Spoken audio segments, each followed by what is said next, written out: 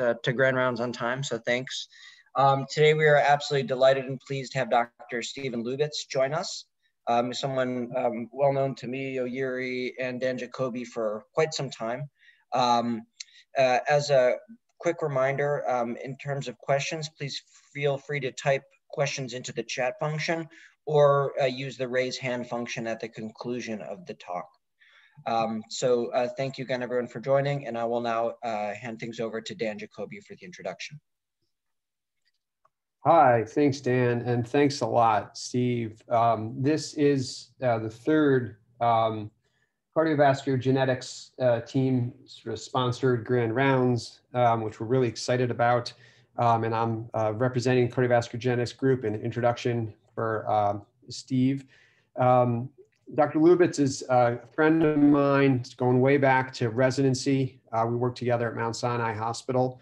Um, and uh, was a really great environment, um, as Steve uh, was just recalling before before we started the, the talk this morning. Um, after that, uh, uh he went up to Boston to um, Brigham and Women's and Mass General for uh, both postdoctoral research fellowships um, and ultimately as a fellowship in, in cardiac electrophysiology.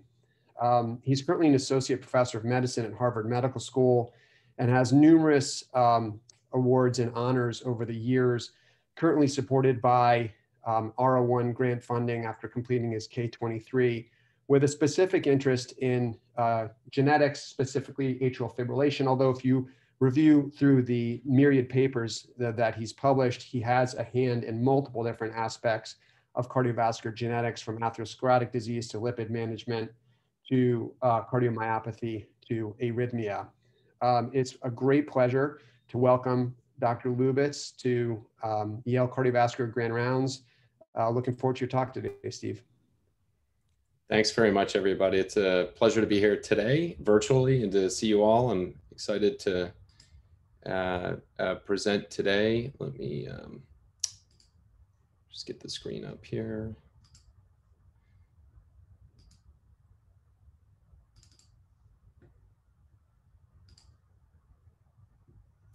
Do you see the full screen or the presenter mode? We see it uh, perfectly.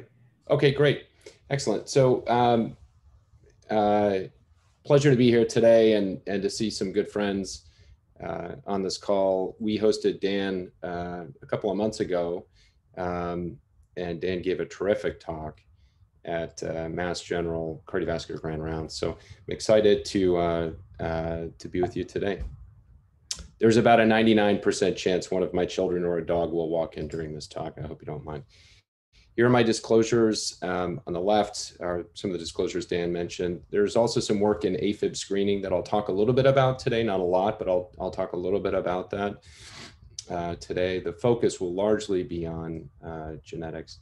As Dan mentioned, I wear a number of hats, uh, clinical electrophysiology, uh, arrhythmia genetics, and clinical and translational research. I know I think everybody on this call is doing many, many things at the same time. Um, this just happens to be the menu of things that I'm involved in uh, for the most part. And my research objectives are largely divided into three buckets. One is understanding the mechanisms of cardiovascular disease. And to do that, we really leverage human genetics uh, to give us insights into biological pathways uh, that relate to cardiovascular disease, mostly focused on arrhythmias, but as Dan mentioned, uh, additional entities related to uh, arrhythmias and cardiovascular disease. Assessing risk, and this can uh, range from anything, uh, including conventional epidemiologic or biostatistical methods for assessing risk of disease and morbidity from disease, all the way through to really exciting work that we're doing now with machine learning and deep learning using EHR data, as well as other large biobank data. I won't really get into that today, but that's an exciting area. And then improving outcomes, we're really focusing on pragmatic interventions, um, several of which are focused on screening for atrial fibrillation. I'll talk very uh, briefly about some of that today. Um, so I'm going to present a vignette from each of these uh, uh, different buckets, mostly focusing on the genetics today. so just to make sure everybody's on the same page, you probably all uh, are quite familiar with this, uh, given where you are at Yale and how sophisticated things are in, in your program there. But a brief guide to genomics, I think I'll just run through this. If we start at the bottom of the, of the screen here, we have cells within the nuclei of cells or chromosomes. That's where all the DNA are.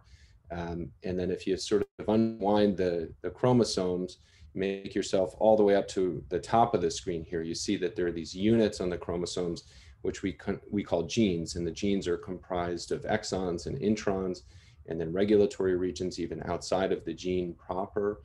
Um, and if we uh, zero in a little bit further, we start to see these nucleotide uh, uh, bonds that, uh, that we call base pairs. And when we think about genetic variation, there's usually an alteration of either a single base pair or a chunk of DNA that we're, we tend to refer to. And we know that those alterations can result in phenotypic variation and sometimes disease. And um, uh, just taking this a little bit further, when we sort of unwind the DNA and the DNA is uh, transcribed into RNA, and we hear a lot about this, um, uh, that process is called transcription. Um, and when we go from transcription to protein, uh, is a process called translation where that RNA can leave the cell nucleus and encounter the machinery of the cell that actually reads the RNA as an instruction manual, pulls together amino acids, binds the amino acids together, generates a protein. And hopefully, if everything goes to plan, that's a functional protein that does what it's supposed to do. And now you can understand if there's a problem anywhere along the way with one of those base pairs or a chunk of DNA, either transcription can go awry or even translation can be problematic.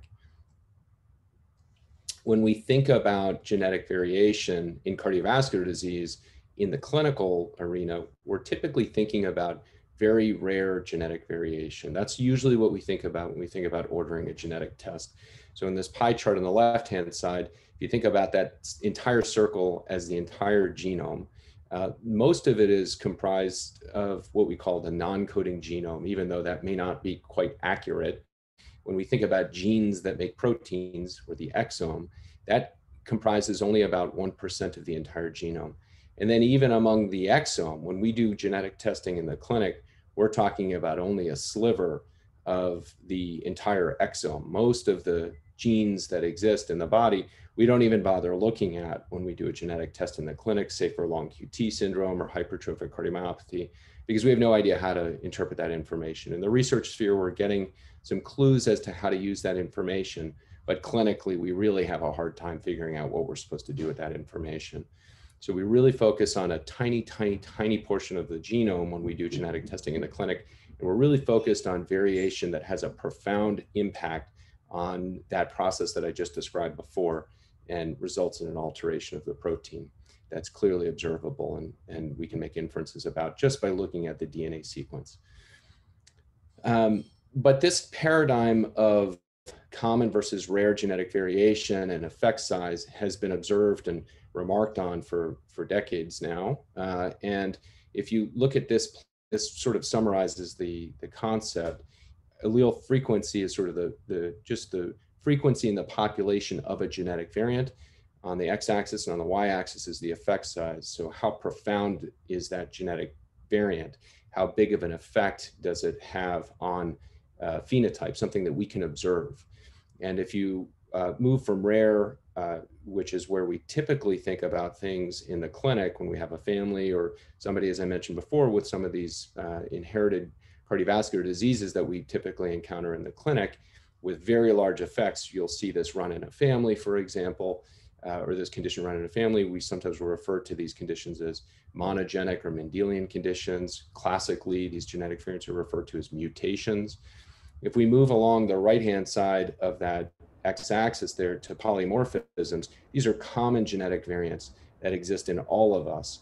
And when added together, these tiny effects may contribute a large effect. They may comprise a very large effect on a phenotype. Um, but it takes hundreds, thousands, maybe even millions of these genetic variants to have that desired effect or that uh, observable effect, not desired necessarily.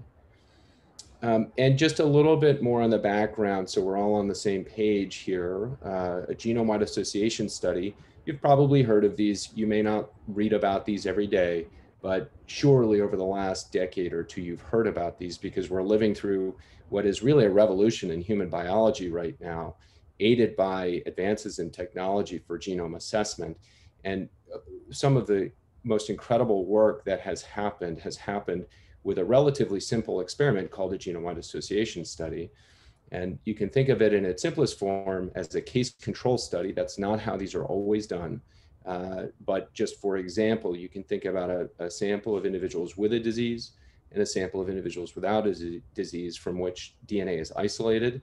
And then DNA is run over this little chip that may contain anywhere from 500,000 to 5 million chemical probes that are assessing for known polymorphisms, these common genetic variants. We know where they live. We know that we expect them with some degree of frequency in the population. We know that they differ according to ancestry.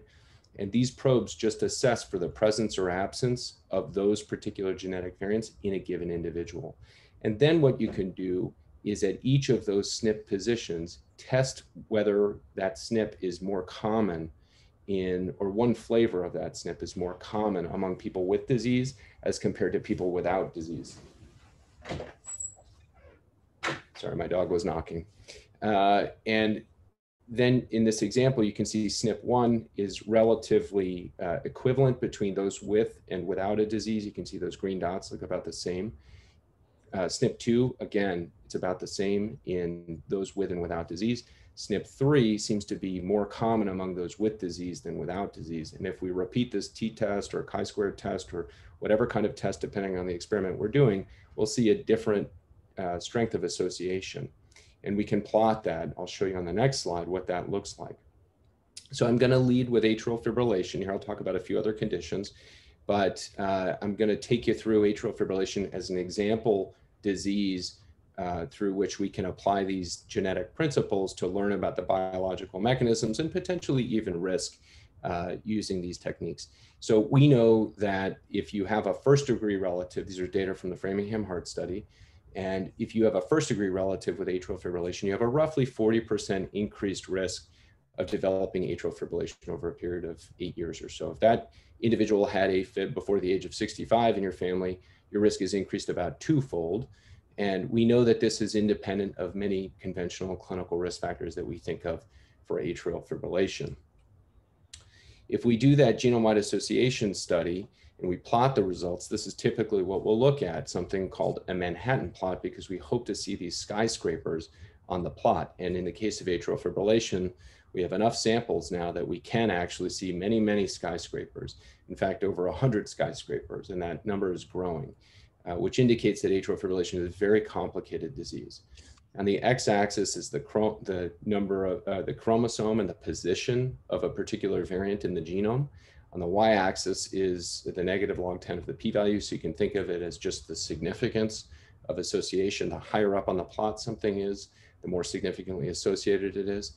And on this screen are 10 million dots, each of which represent a single nucleotide polymorphism, a SNP, associate or tested for association with AFib.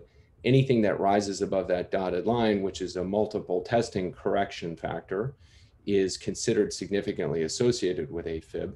And we can zero in on these uh, skyscrapers to try to figure out what genes live nearby in that neighborhood to give us a window into what potentially the biological mechanisms of disease are. And what we're learning from common genetic variant analyses using SNPs is that there are a lot of developmental factors that are involved in atrial fibrillation susceptibility. Of course, ion channels are implicated as well. We've always thought of atrial fibrillation as an electrical disease, but interestingly, we're seeing a lot of cardiomyocyte genes as well, suggesting that there might be a myopathic signal underlying atrial fibrillation. We'll come back to that. So what can we learn from a GWAS? Well, we can zero in, as I said, on these peaks, these skyscrapers. And if you look on the left, this is the principal signal for atrial fibrillation. This is a uh, locus called chromosome 4 uh, on chromosome 4 uh, q25 and you can see here those little dots are basically the genetic variants that we tested for association. They live upstream of a gene called pitx2 and it turns out pitx2 wasn't really on the radar for atrial fibrillation susceptibility before the era of genome-wide association studies. But it makes perfect sense now that we've found it and the direct links between these variants and PITX2 are not clear, but what we do know about PITX2 is that it's an important gene for determining right-left symmetry in the body and particularly in the heart. It suppresses the default formation of a sinus node on the left side of the heart. It specifies the, the smooth muscle cells that form in the pulmonary veins, which we know are important triggers for atrial fibrillation electrically. That's in fact what we do when we do procedures such as catheter ablation for AFib, try to wall off those electrical triggers from coming from the pulmonary veins. So we can start to learn about biology. And then if we take those genes that are closest to that top signal, we group them, you can see on the right-hand side, there are a number of different genes uh, that fit into certain categories. And there's some overlap between these genes, obviously, and a lot of functional characterization that's necessary.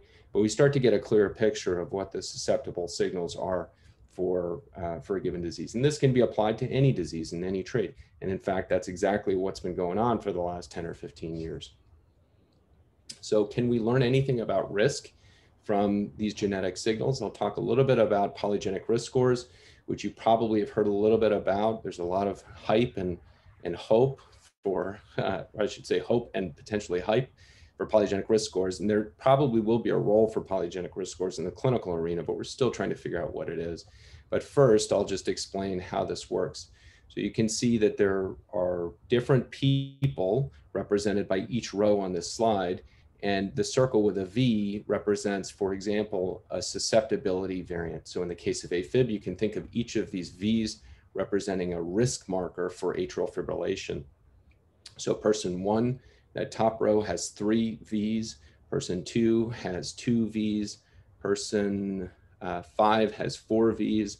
And when you add up all these Vs in the population and maybe you apply a weighting factor to all of these and you add them up, you end up getting a distribution of genetic susceptibility.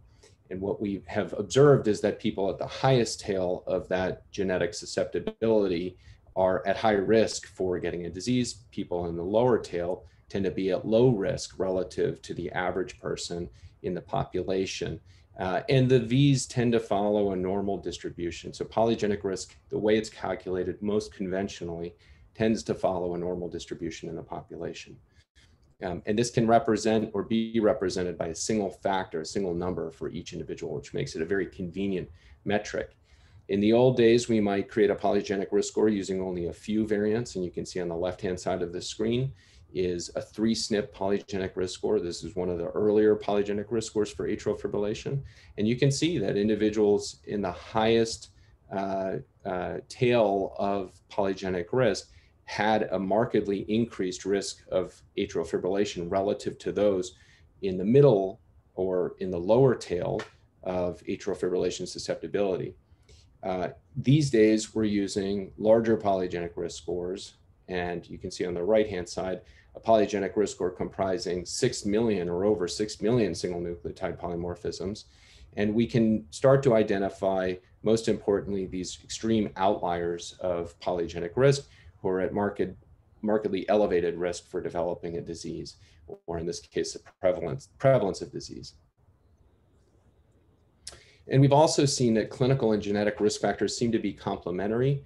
Um, this is an example from the Framingham Heart Study in which polygenic risk was calculated, clinical risk of atrial fibrillation was also calculated, and each was divided up into tertiles. So we had this uh, three by three grid of clinical and polygenic risk, and we just plotted the lifetime risk of developing atrial fibrillation. And you can observe here as you go from left to right, uh, increasing polygenic risk or inherited susceptibility to atrial fibrillation. You can see overall a gradual increase in the lifetime risk of atrial fibrillation.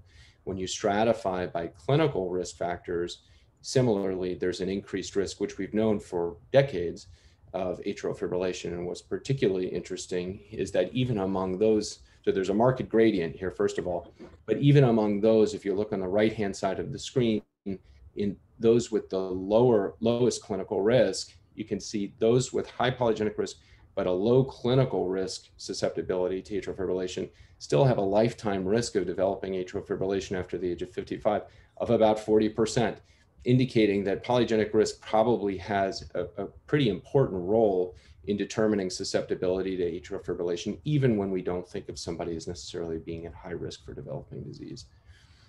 And so there's been, as I mentioned, an explosion of common variant association tests, genome-wide association studies, Um, these are data that were last pulled from a GWAS browser uh, in September 2020. You can see all these publications and these just gargantuan number of associations. I mean, it's really remarkable what's happened over time. And you can see here from the beginning of the genome-wide association study era, what started to happen. You can see the 23 chromosomes displayed on the screen and each little circle is another genetic association uh, that's been identified. So we're really unraveling the uh, human biology here just through genetic interrogation. It's a really exciting time, um, but there's so much work to do to make sense of these association signals that we're seeing. And similarly, as expected, there has been an explosion as well in the curation and creation of polygenic risk scores. So here's a catalog that was just launched within the last year, and they're trying to archive all of the polygenic risk scores that are being created for traits and have been published. But I'll just tell you, in the life of any computational biology postdoc, they may make 10 or 15 polygenic risk scores in a given day as they're doing experiments for a single paper. So this is clearly an underestimate of what's actually going on out there. What we don't understand is how necessarily to use these polygenic risk scores and whether they'll have a clinical impact. And so I'm going to shift just a little bit from the common variants to the um, rare variant story, which has also been very exciting in, in the recent years and is going to be even more exciting in the, in the next few years as these large biobanks start to get sequenced. And I'll stick with AFib and I'll tell you an example of uh, an experiment that we uh, conducted in which we um, used whole genome sequence data from the NHLBI's Transomics for Precision Medicine whole genome sequencing program. So this is TOPMed uh, is what it's referred to. And you can see here that uh, with uh, starting with about 18,000 individuals in phase one of the project, the project's now on phase nine. Uh, after QC, we created a, a, case control sample comprising about 7,000 or 8,000 individuals, about 2,500 of whom had early onset AFib that developed before the age of 65. And when we examined the sequence data, we observed a gene uh, that's a household name in cardiovascular medicine, particularly for cardiomyopathy, that was associated with atrial fibrillation.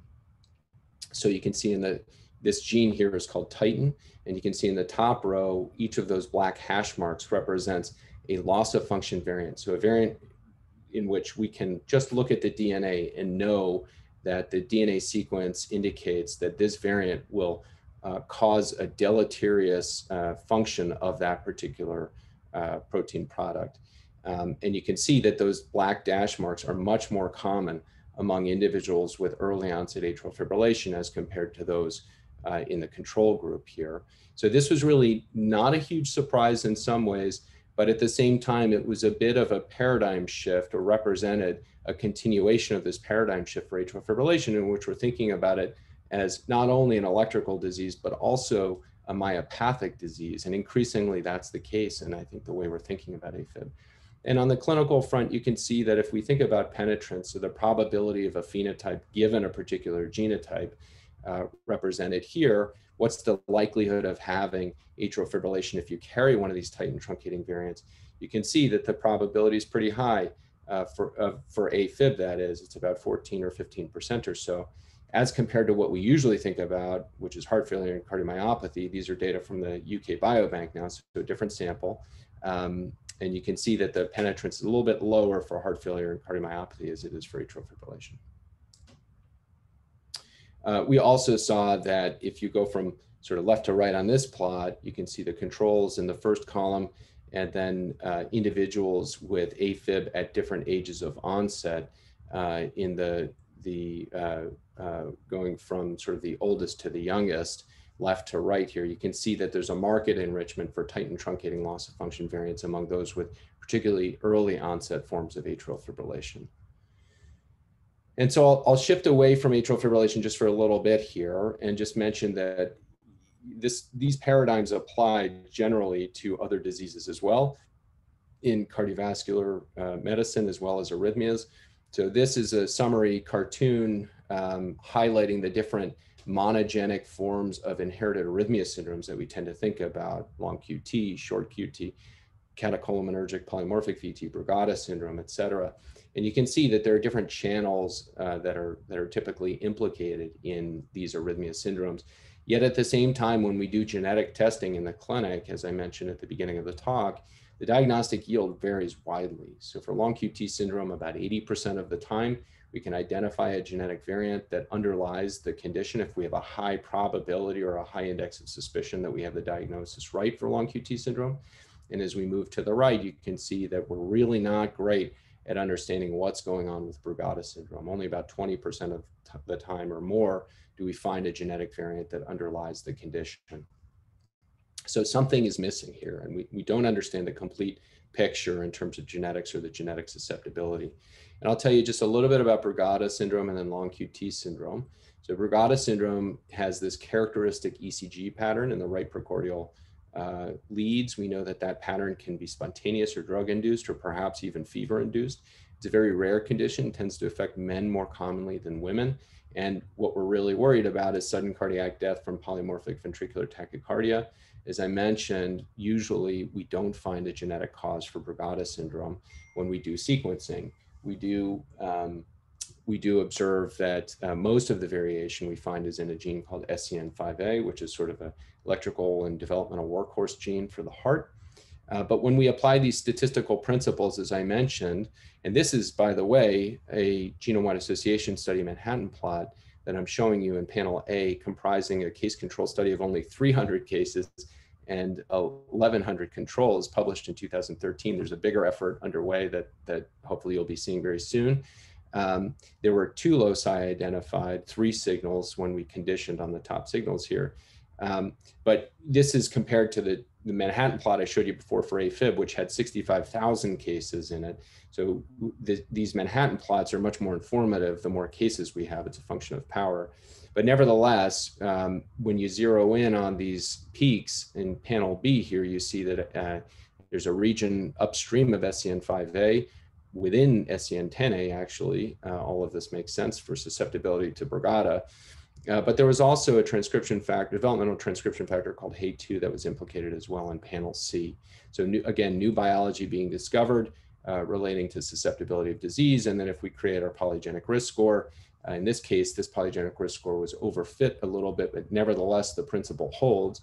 Using just three uh, SNPs, I think they used in this score, you can see that there is a gradient of susceptibility or likelihood of disease, in this case, an odds ratio, uh, using this polygenic risk score for Brugada syndrome in a case control sample. So again, the statistical principles, the biology that I was talking about for AFib.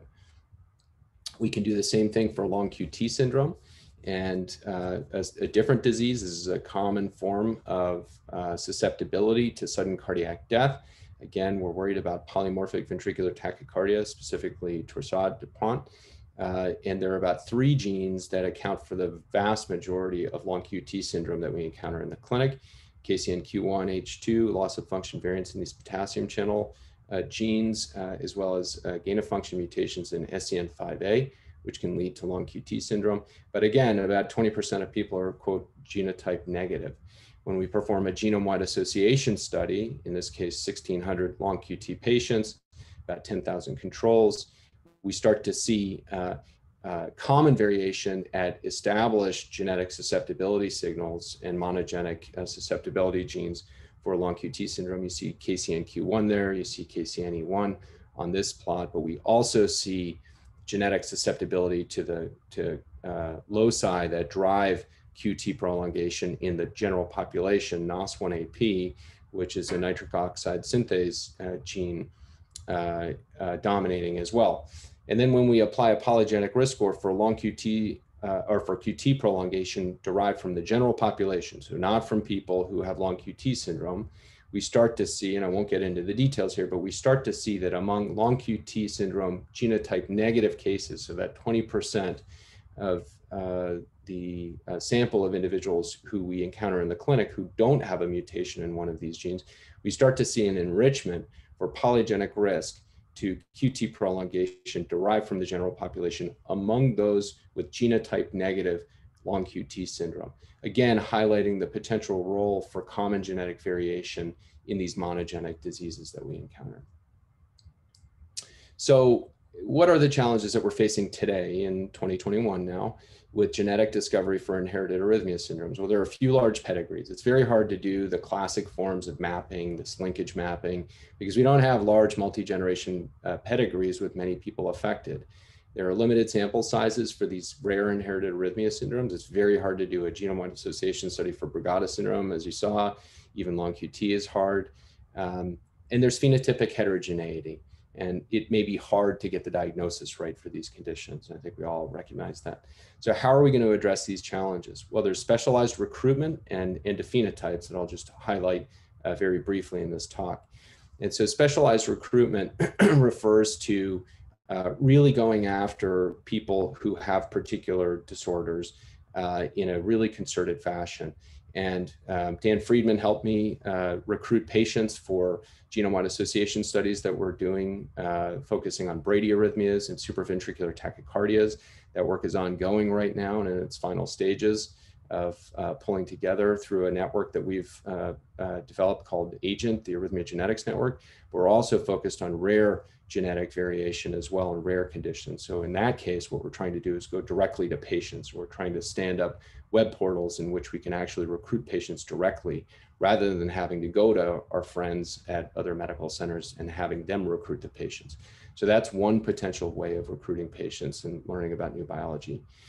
And then endophenotypes. If we can find a good proxy for a phenotype or a disease, and increasingly that is the case with these large biobanks that are emerging, we can start to learn about disease. I'll show you briefly how that might work. So uh, for example, if we just take the ECG and we look at the standard conventional intervals that are reported on an ECG, and we do a genome-wide association study of those intervals, we create polygenic risk scores from those genome-wide association studies, we can test them for a host of different uh, association with a host of different phenotypes. So in this case, we performed a genome-wide association study of about 300,000 individuals uh, uh, just looking at the PR interval, pretty simple metric that's reported with a high degree of reliability on the ECG, created polygenic risk scores and tested them for association with, uh, with different diseases. And we see on the right-hand side of the screen, intuitively, uh, a polygenic risk score that predicts a longer PR interval is associated strongly with a higher risk of developing distal conduction disease and needing a pacemaker. Interestingly, that same polygenic risk score is associated with a lower risk of developing atrial fibrillation for reasons that we don't quite understand right now. And the story is much more complicated than that, but this is an example of how we might use uh, uh, endophenotypes. Another example of how we might use endophenotypes uh, and rare variation, again, sticking with the ECG, looking at, in this case, uh, the QT interval, and using sequence data from TopMed, at the UK Biobank, and MyCode from Geisinger, uh, we can identify on the left-hand side are the Manhattan plots, but just all squished together for a variety of different uh, ECG intervals. On the right-hand side is a rare variant association test with different genes in the genome. And we see that we can start to nominate new genes, PAM, uh, MFGE8. These are genes that have been identified but require further functional characterization linked to atrioventricular conduction.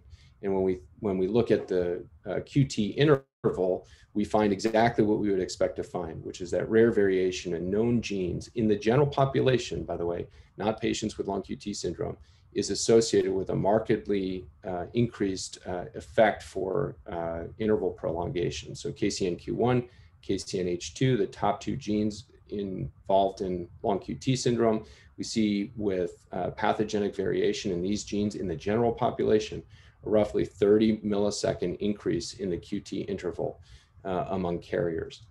And of course, the carriers are relatively rare. You can see here a distribution of the QT interval among carriers and non-carriers. And if we draw a line in the sand at 460, 480, or 500 milliseconds, and you move to the right-hand side of the screen, the odds of having QT prolongation are gargantuan if you carry one of these variants, uh, upwards of 20, 20 fold increased odds of having QT prolongation. But then again, if you look at that bottom row, the probability of somebody with a QT interval of 500 or more milliseconds carrying one of these pathogenic variants is very, very low. It's only about 3% in the general population. So there's a lot we don't understand yet about what causes, from a genetic standpoint, susceptibility to prolongation of some of these intervals. Uh, but we can start to use these endophenotypes for disease, in this case, QT interval and the disease being sudden death, to understand some of the pathways potentially. Uh, and, and we can apply these principles as well um, uh, to other disease entities. And so this might be of interest to the cardiomyopathy folks out there using cardiac MRIs from the UK Biobank.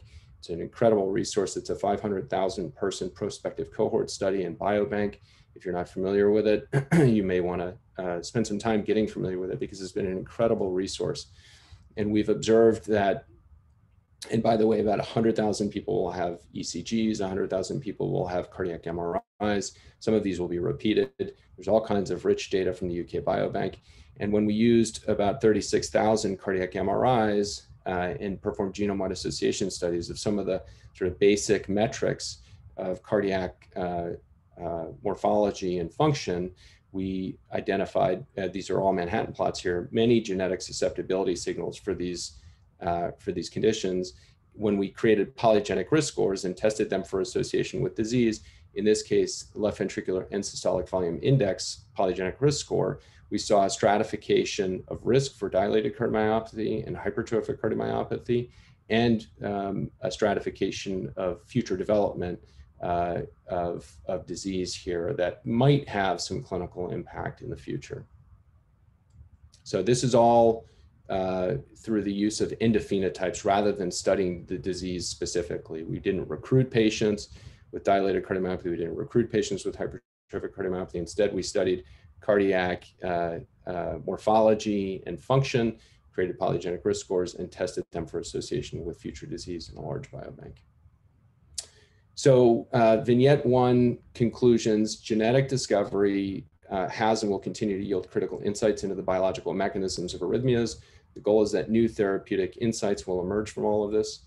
Common genetic variation and rare genetic variation contribute to the susceptibility of common and rare inherited arrhythmia syndromes, and the role of genetics in the direct management and prevention of cardiovascular disease is less clear at the moment, but we're excited about where that's going. I'm going to shift gears and I'll, I'll tell you a brief vignette about some of the risk work we're doing, and then I'll give you a brief vignette on outcomes before I wrap up. Um, in terms of risk, again, I'll stick with atrial fibrillation here as a, an exemplar disease. We, we in our group feel that AF risk is a, uh, calculating AF risk or assessing AF risk is a paradigm that may have relevance to population health management. And here is an example of an experiment that we did where we basically just applied several different risk scores for predicting atrial fibrillation risk or estimating AFib risk, some of which our group uh, helped come up with. Uh, we applied it in a large EHR data set comprising over 4 million individuals from IBM. And you can see here the stratification in the right-hand table of risk uh, seems to be uh, of potential clinical relevance here. Um, and some scores perform better than others. And, and the left-hand plot is just the calibration of these scores. So some are pretty well calibrated, some are poorly calibrated to risk. You can see the predicted risk on the bottom, the observed risk on the, on the top. But the idea here is that using a few clinical risk factors, up to 10 or so, we can actually estimate one's probability of developing AFib in a five-year period of time. But it requires us to have information uh, that is measurable at the time of an encounter. We can do that with EHRs these days.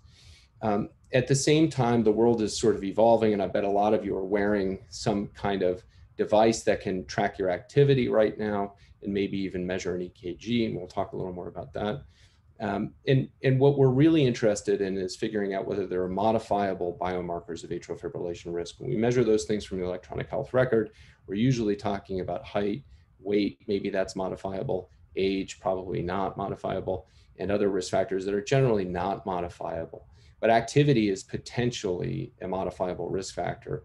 And we wanted to know whether we could use physical activity as a biomarker for estimating risk. Um, previous studies had relied primarily on self-report, which has a bunch of biases, as you can imagine, whereas wearable accelerometers provide objective data on ascertainment of uh, physical activity, that is. Um, so what do the guidelines say about activity? Well, the guidelines recommend at least 150 minutes of moderate intensity exercise per week or at least 75 of vigorous intensity uh, per week. There are some extended guidelines from the WHO that recommend a more aggressive exercise regimen over the course of a week. And we wanted to test whether these recommendations had any clinical merit or not. So we again turned to the UK Biobank, in which about 100,000 people wore an accelerometer for about seven days. And we assessed whether guideline based moderate to vigorous physical activity was associated with incident disease. We adjusted these models for age, sex, and clinical risk factors for AFib uh, and tested associations with five-year incidence of AFib and stroke. Um, you can see here the distribution of physical activity in this UK population. And this comports with what we've seen in other reports uh, about physical activity. This tends to be, the UK Biobank tends to be a healthier cohort.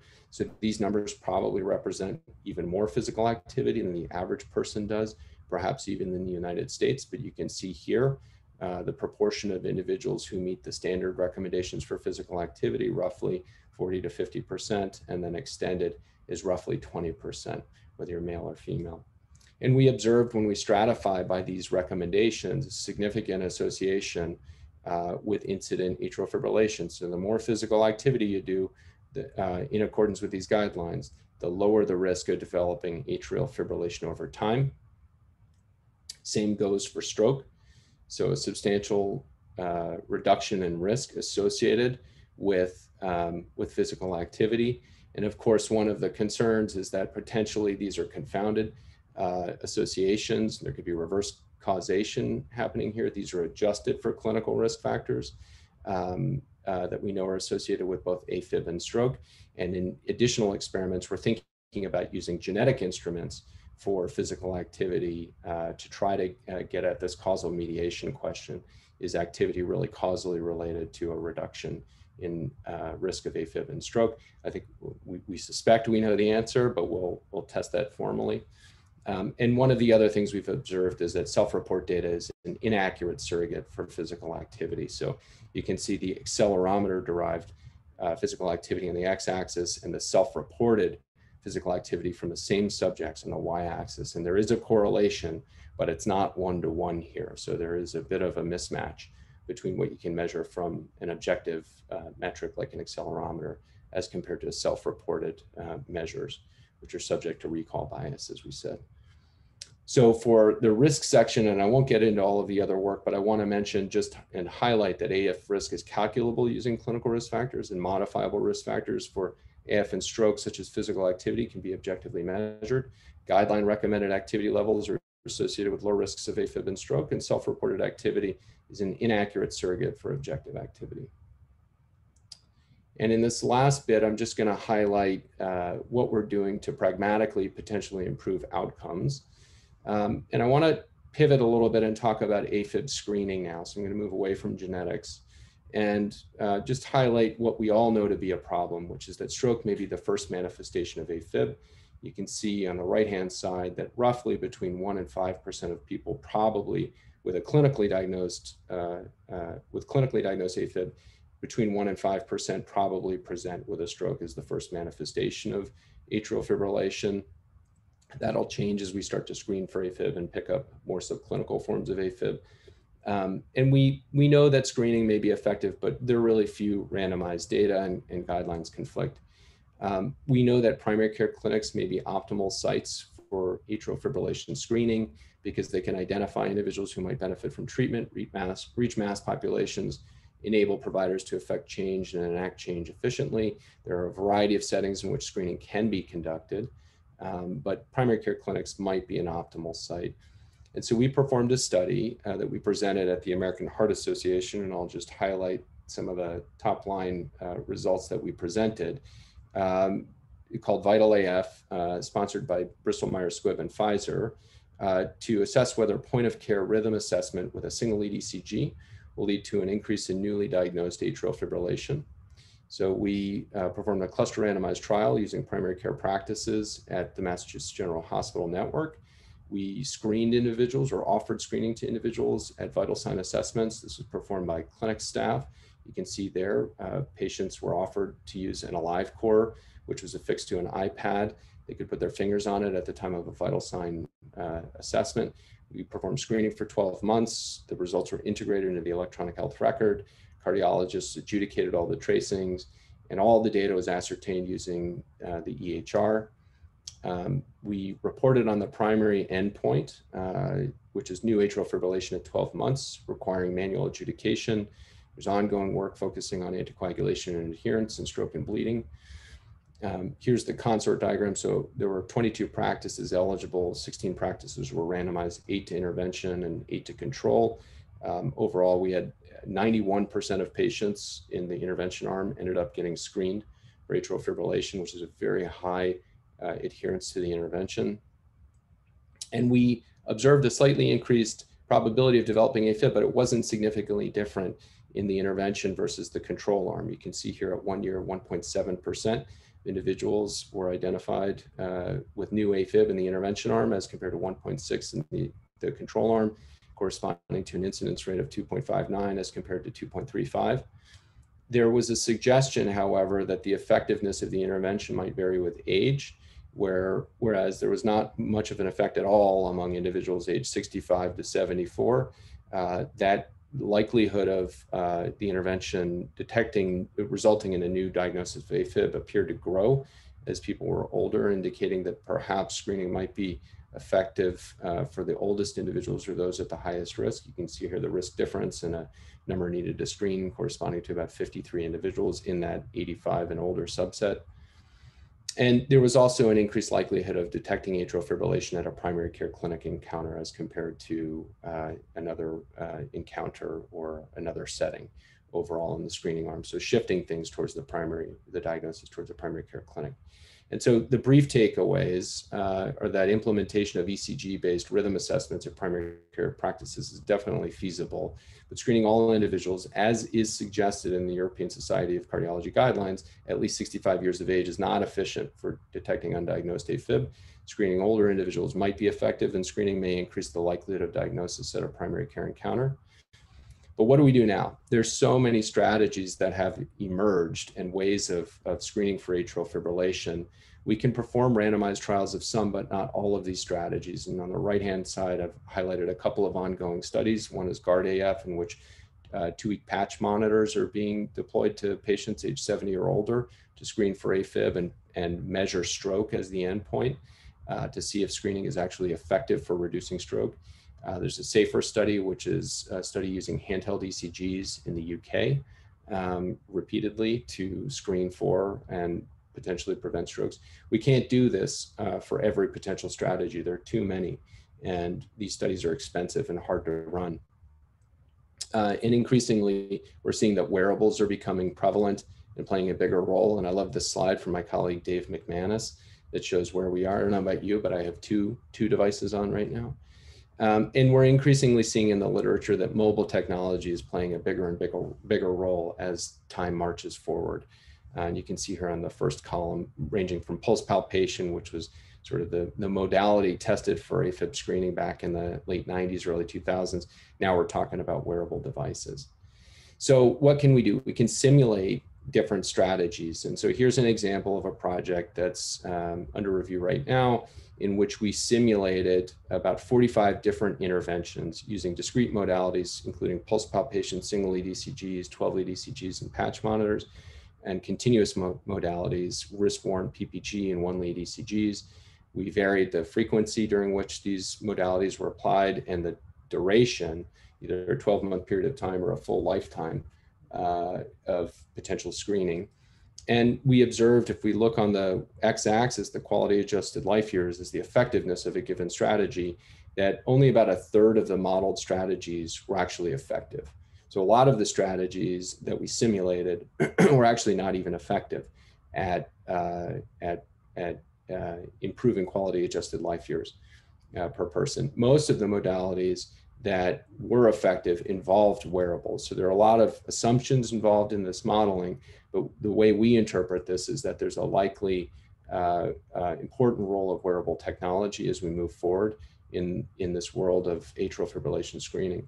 And so I think what we're accustomed to now is this model where consumers go out, they buy a device, Maybe they use a PPG uh, algorithm that detects an irregular pulse, then prompts them to put their hands on the device and measure a single EDCG, which runs another algorithm for detecting AFib. And then maybe we mail them a patch monitor to confirm that they really do indeed have AFib. That's the model we're familiar with right now. Um, but it may be that in the future, we as doctors are prescribing devices that are wearables to patients to do the exact same thing. May not be that it's just in the consumer's hand. And we'll have to figure out whether that's a cost effective strategy or not.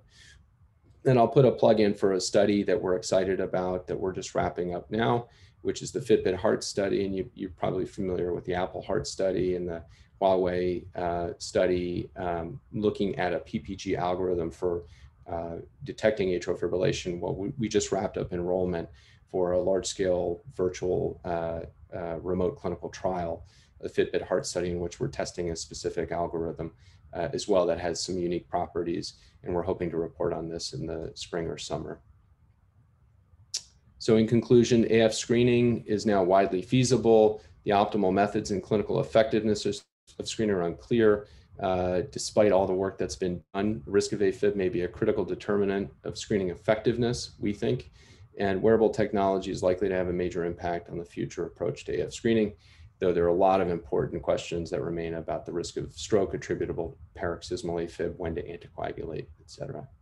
So with that, I'd like to finish and thank you for your time and attention today. It takes a village, and I've mentioned only a subset of the people that have been really critical for helping champion this work uh, along the way uh, I'd like to open it up for questions. Thank you. Thanks so much, Steve. That was Dan, you're having a difficulty with your connection there. Talk. Uh, hey,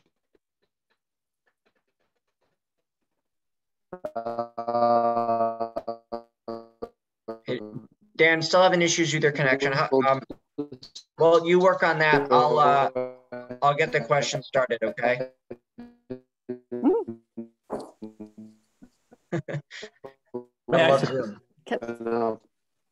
hey Dan.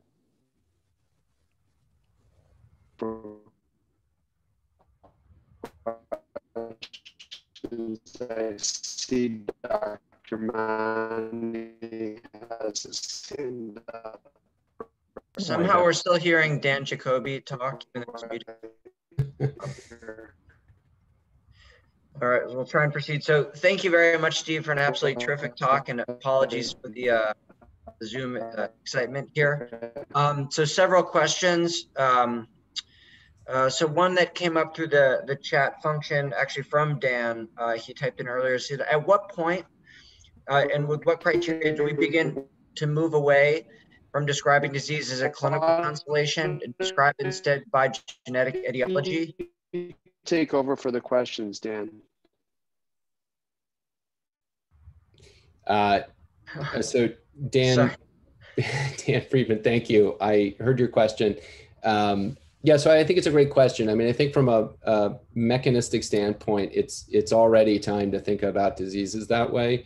And in the clinic, we've been doing that actually for some diseases for a while. You can think of long QT syndrome where we classify it as type one or type two or type three, et cetera, depending on the gene involved. But, but that doesn't even encompass the entire uh, spectrum of, of mechanisms. So even within long QT1, for example, which involves KCNQ1, there might be different biological mechanisms. There might be a gating defect, there might be a trafficking defect that results in disease. So I think that um, there are layers of complexity, and my guess is that as clinicians, when we will we will start to refer to diseases based on their genetic or mechanistic subtype when it matters for our clinical practice. So if there's a medication that really focuses on addressing a particular mechanism of disease, or if there's a prognostic implication of a particular subtype of disease.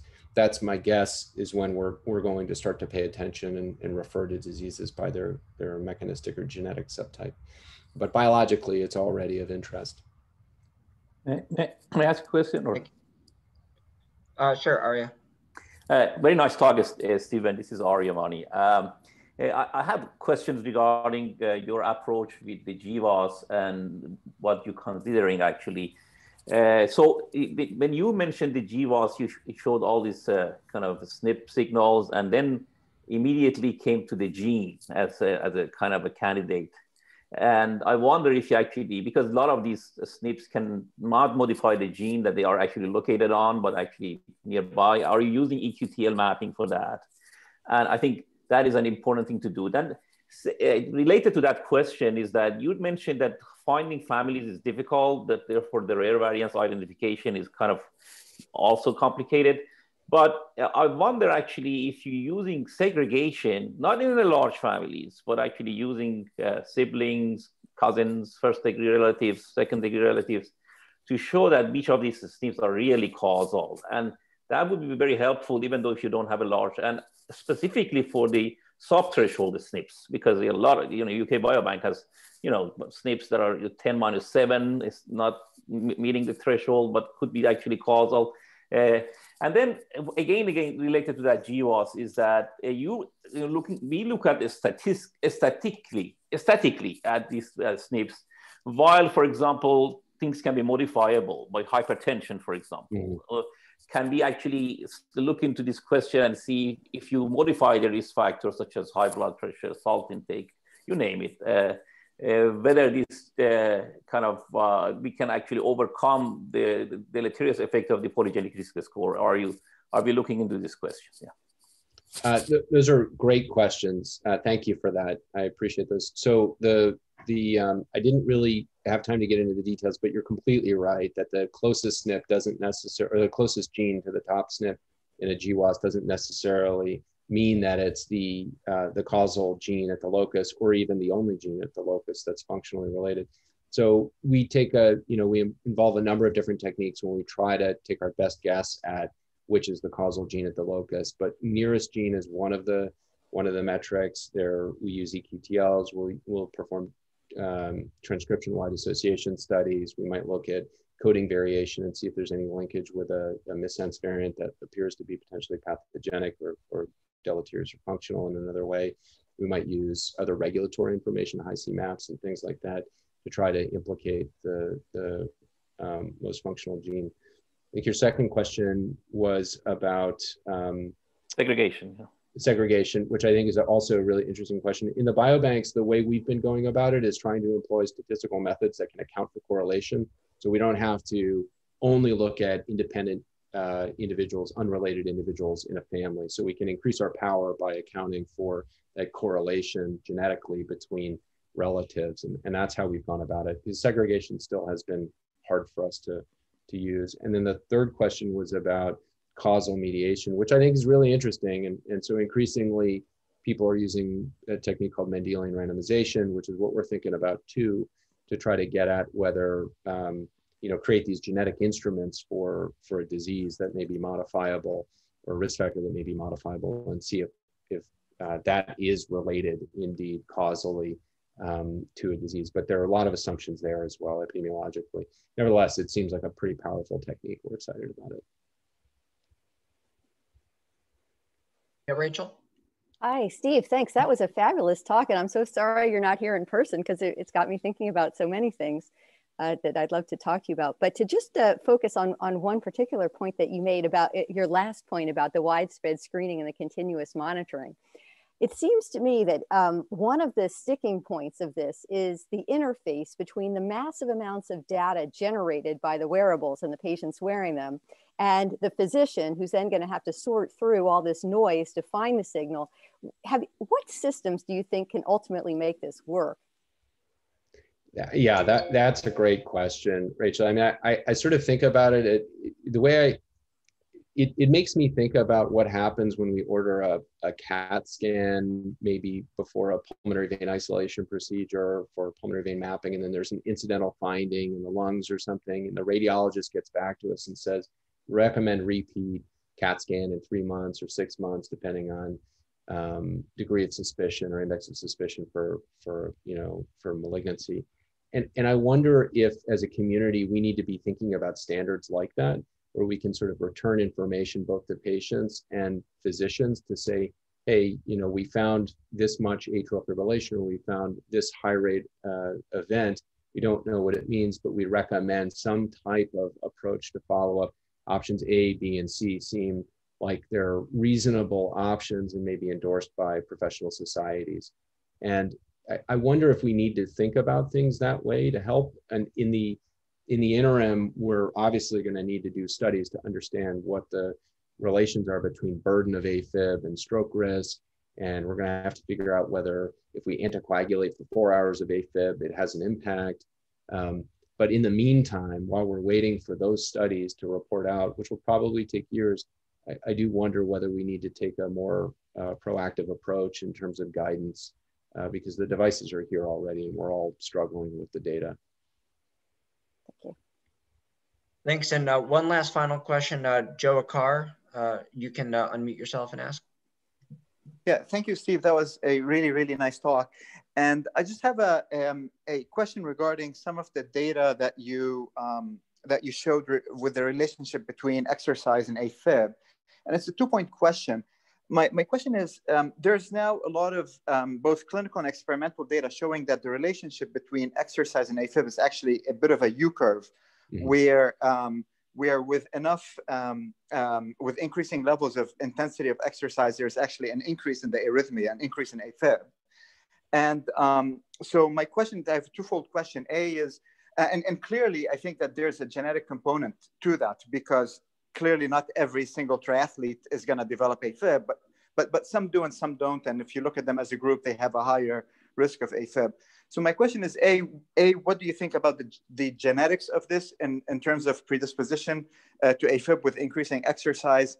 And secondly, um, um, when you looked at it with your data, it seemed to show more of a, of a linear relationship as opposed to a U-curve. And I was curious as how you would explain that. Uh, great questions. Thanks again for these. These are really insightful questions, all of them, and I appreciate them.